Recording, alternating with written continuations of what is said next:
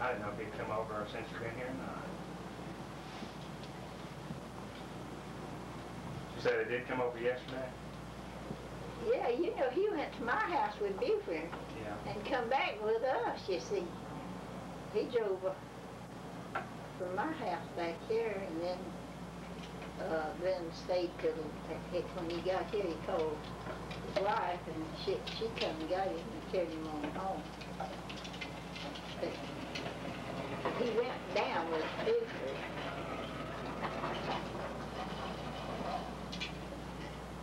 And come back with me and Buford.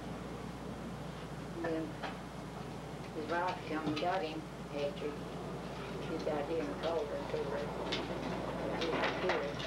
Now you can get her in here if you want her in here. He's got plenty of me ready, believe me. He's taped me a lot. Tell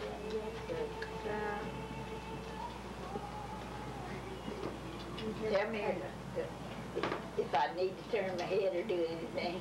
Just talk to me. Uh, Just sit there and talk. Cause it's a moving picture. It's like a movie camera. You, we show it to you on the TV in a few minutes. oh, it, Yeah. We show it to you on the TV. He takes the preacher preaching his sermons. You got it with you And, then? uh, y'all been to church today? yes, ma'am. Oh, well, I wanted to go, but I wasn't able to go. Weren't feeling good. I woke up sick. Well, maybe you feel better. You can go Wednesday night and feel better. Good enough to go Wednesday night.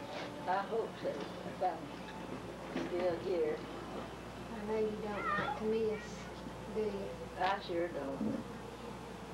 Not anymore than you have to. Yeah. And he just come. Yeah, uh-huh. He's been here since April. I think you've heard him the last time you were here. He- Yeah, y'all had a new one when I was here. Yeah, yeah. That. We sure do like him. He sure is a good preacher. I'm glad you like it. Yeah, Remember Sheila said that she could um, hear him a whole lot better? Yeah. He had a good sermon this morning. I was just Teaching the Beatitudes right Oh, now. Brother Barnes is still sticking to us, and we, we are him too. You know, he preached three years at the church, and then Harold Griffin and three or four of them around, and they put in to run him off, and so they were just, oh, there they started having the division. He, he, he walked out, he was 60, I think it was 69, 65 or 69. Boss got out up and followed him out, so uh, got outside. And, uh, said where we're going to have services. Brother let Chapin when he was there. He said, now everybody knows where you're going to have services. You know, my old skating rinks down in Feast, we've been having our Sunday school and our meetings out there for the longest. We just get some more chairs and and, and more seats, and we just ain't everything's perfect, so we do better. So we called uh, some of the women did call the clubhouse. You know, we got a woman's clubhouse, about about two, two or three dozen chairs in uh, in the clubhouse. We chairs for a while, and we borrowed some anyhow, benches that somebody had.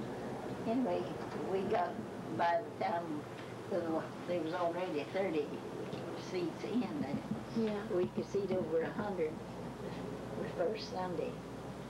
That means you had the first Sunday. We had, we had 110, I think it was. And Mr. Chafin had an old, uh, uh, uh, cushion, he bought him some new furniture and he had it his old one sitting out there in, under in a little room out there, that was a big barn, you know. And he carried them in there and set them down, and we could use them, in church to sit on. Yeah. There wasn't nothing wrong with them, only they just sort of old, you know. So we used them. We got along fine. The Lord sure has blessed us, I know that. Oh, I know proud of your new building. Uh, yeah, we got one of the best looking buildings is in Colquitt County. Yeah, I bet you do. It's pretty. Yeah, a lot of folks says it's the prettiest church is in the county to them. Of course, everybody don't say that, or at least I haven't heard everybody say it, but everybody that I've heard say anything about it said they just Yeah. thought it was the most beautifulest place for a church they'd ever saw in their valley. It is in a pretty Yeah, it place. is in a pretty place. How many members do you have now? I think there's 169, last I heard it, say anything about it. That's good. That's good for a little split off church, isn't it? Yeah, it is, and for such a small area, a little bitty town. It's a lot of people. Seems like a long way. Well, how many churches are there? There's the First Baptist, and then there are a couple others there in Norman Park. Well, the, the, the, the Methodist Yeah. and, and, the, and the other Baptist church right there in Norman Yeah. Park, besides all the colored folks' churches around there, there's Yeah. three, the three colored folks' church around there. Is there? It Oh, sure didn't is. Well, that's Sure is. That's a lot then for, For it to be a little community like it is. It's true. It is. But we got a lot of folks that comes from our church that comes from south down in there around Mount Olive Church and Mhm. in down in that way, and then out uh, towards Oakdale. There's comes them that's closest back to our church from Oakdale has left Oakdale Church, come to our church. Yeah. And then there's some that's moved from Mount Olive and, and there's three or four different people from different churches that's moved their letters there since we've been there. I know from Mount Olive and Oakdale and, uh, and then another, Sly. Sly, they moved from Sly there. Good. They're growing fast then, aren't they? Ours is starting to grow now that we got that new preacher. Ours is really starting to grow again. Yeah, I am too. I am too.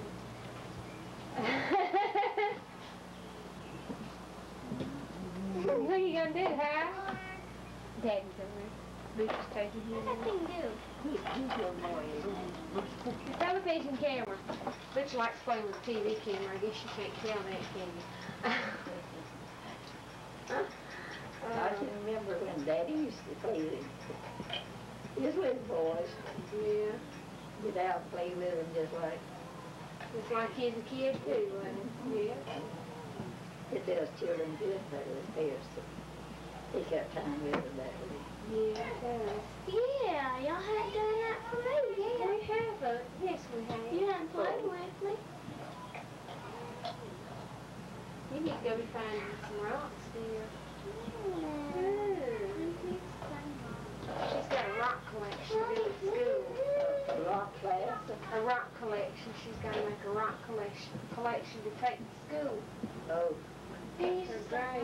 She hasn't done very much on it. you ought to go to the home with me and go to, uh, up on the Warrior Creek to the big old rocks and you'll find all kinds of, uh, Who's over there?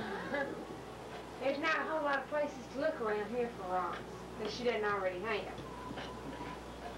But she does pick up a lot of rocks wherever we go.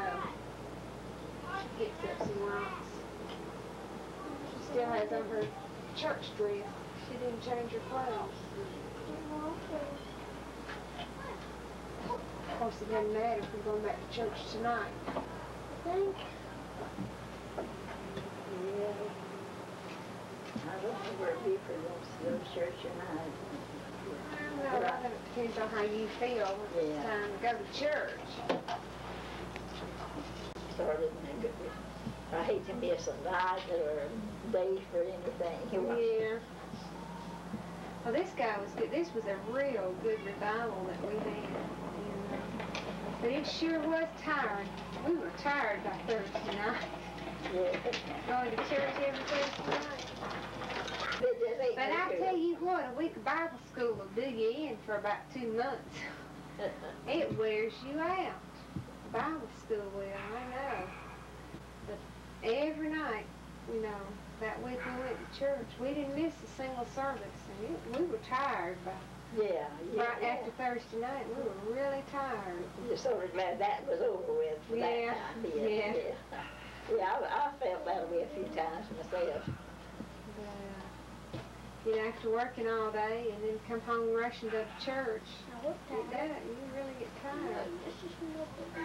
I think it's good that they only last three and four nights. I think they're more effective that way. Yeah, 'cause you get sore out till you, it- you're not interested in what's What's- being said. That's right. You go too long and you don't get anything out of what's being said. You're sitting there thinking, I sure would wish you'd shut up so I could Fool with for a while, so you go home and rest.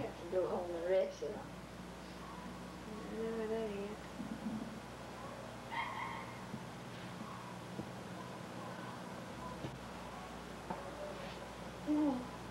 I got real sleepy today.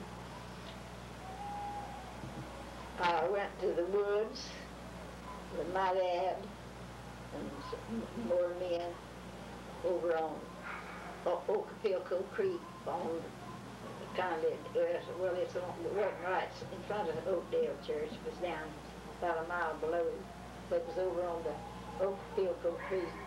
Frank Norman had a lot of big old timber in there that had never had a turpentine box in it and big old round trees. And you know he'd give all that timber for him to saw down to make the frame and then fit to build Oakdale Church. And I, I, I, my dad took us all one day and we went there and stayed for two or three hours and watched him saw the trees. So, Draw, drag them off to the sawmill they had on the framings. They was Yeah. sawing the framing then for the, for the church. that's. That was interesting, wasn't it? That was in, in, in nineteen and nine hundred, nineteen hundred. Is when it was. How old were you then? It's been nearly a hundred years ago now. It's Yeah. been, been ninety years ago. Yeah. How old were you then in 19? I was seven years old, but I remember seeing them since all them trees. It really made an impression, didn't it? Yes, sir. You know, that was uh, some enthusiasm to children, you know. Yeah. Yeah, I saw them, saw them trees. Then they'd have, had old mules and log carts and they'd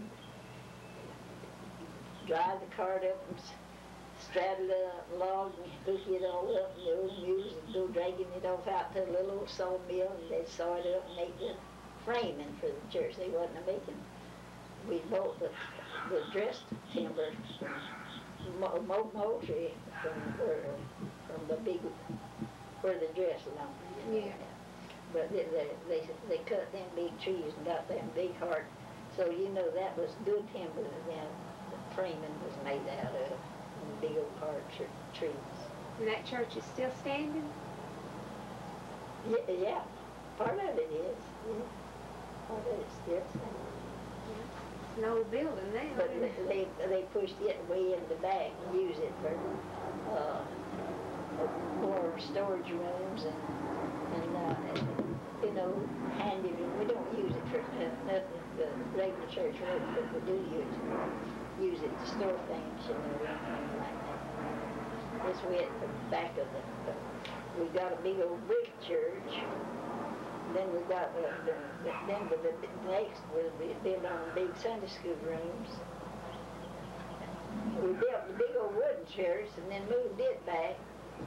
And then, uh, when we moved that church back, then they cut it up into Sunday school rooms. And then they built the brick church. And now they've got more Sunday school rooms built on, on further down, on the, further on. It's, of course, they tore down some of the old, old, the first old Sunday school rooms that was built. They tore them out when they built the, the last new ones Yeah. the oldest members of Oakdale Church, and she was one of these old kind that, old saying is what come up, come out. If it's fit, it fit, and if it hit, it hit. She, it didn't matter with her, which way it, it, it took. She went on just like she had said, no matter what shorts, see. oh, she was a sight in this world. One Sunday I never will forget, and- Daddy was, then we was living at Norman Park, but we still went back to Oakdale to church every Sunday.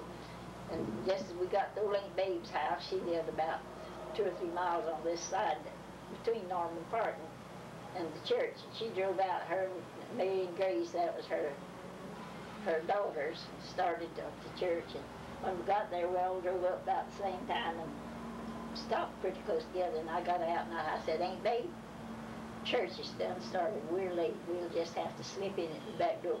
Oh, no, I ain't neither. Me and you ain't, get- no, you ain't neither. Don't you know us, the backbone of this church, did slip in there? No, I go right where I always sat. and she did. so we just went on up to the regular old seat.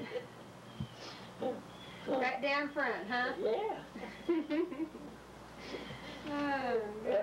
She said, that's the backbone of this church. That's just the way she said, that's the backbone of this church. And you tagging along behind her, huh? Yeah.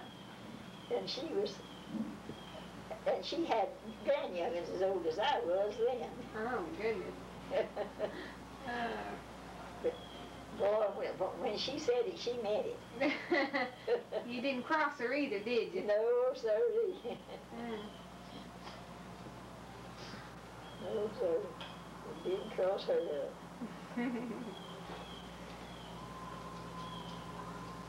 and he had a lot, good many hogs, and he was, I know my daddy was there helping him with, with, with some hogs. I don't know what this doing, but they're changing them from one pen to another. And an old big male hog with old big long tush that long got the mad with uh, Mr. Norman because he was trying to make him go in a pen he didn't want to go in. And he whirled around and, and gnashed him and he weighed 504 pounds, and he just cut him to the bone with that tush right across back here. The blood just poured out down there. Mm. Ooh, he, he had a, he killed him. He blood test. Oh, really? I can remember my, my daddy was there helping him. I never did get over that. He always thought so much of old man. We always called him you know. Yeah. Mm. And then that left her with two married daughters and, and 11 more at home. And the baby was seven months old. Goodness. And here I am, I can't handle two. Huh? Here I am, and I can't handle two. Well, well, she, she had 13 children and there was two of them that was married and the others was from babies on to Yeah. grown, grown. Now 13 of them lived, huh? 13 years. But whenever she said hop, You hopped. some hopped. Didn't matter who or what, something hopped, didn't it? Some hopped. Hmm. You don't come across people like that too much anymore.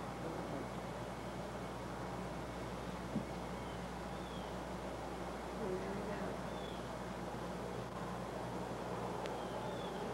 Was that seven month old baby? Yeah, Oh, yeah, that's for sure. Daryl Weaver's mother's uh, was uh, seven months old. Uh, uh, uh, caused his daddy's death. That was. is that before they had medicines to combat that sort of thing? Before they had medicines to combat that sort of thing. I don't think he, I don't think he lived but just two or three days, just quick as he could take blood poison and it killed him, it killed him. It was hot weather, you know, and he used to be fat so much hot blood and everything else, you know. I don't think he lived but there for exactly. Oh, that old pig. It's best I can remember now. I know he didn't live very long, but uh, it, it wasn't but a few, very few days. that He was gone. Are you okay? Comfortable? Ma'am? Are you okay? Are you comfortable sitting out here? Yes, I'm okay.